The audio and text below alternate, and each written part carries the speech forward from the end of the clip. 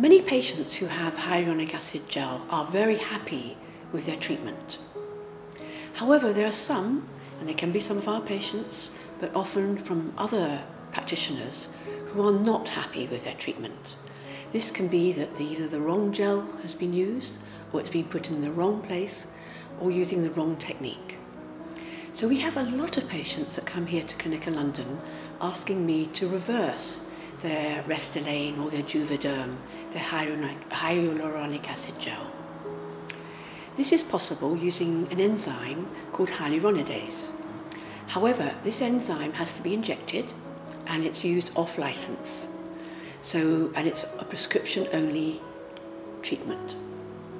So if a patient wants to come, has, has a problem with their filler, they come and see myself and the nurse for an assessment and we discuss how long ago they had the filler, what the problem is with it.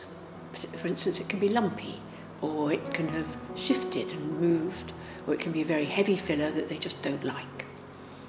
And then we talk to them about the hyaluronidase, what it is, how it works. Now, everybody's made up of hyaluronic acid gel, a large proportion of our body, and we also have natural hyaluronidase. The difference is with the hyaluronic acid gel that's synthetically injected as a filler is that it's cross-linked. This is getting a little bit technical, but the cross-linking means that it doesn't get, uh, it only gets taken away by your body very, very slowly. So we have to inject hyaluronidase enzyme. One question I'm often asked is, is that enzyme going to affect their normal soft tissue? And there's absolutely no evidence that I can find or other practitioners that using hyaluronidase enzyme off license to reverse filler is going to also affect your own tissue. It's a very effective injection for reversing hyaluronic acid gel. It's done under local anaesthetic and it works immediately.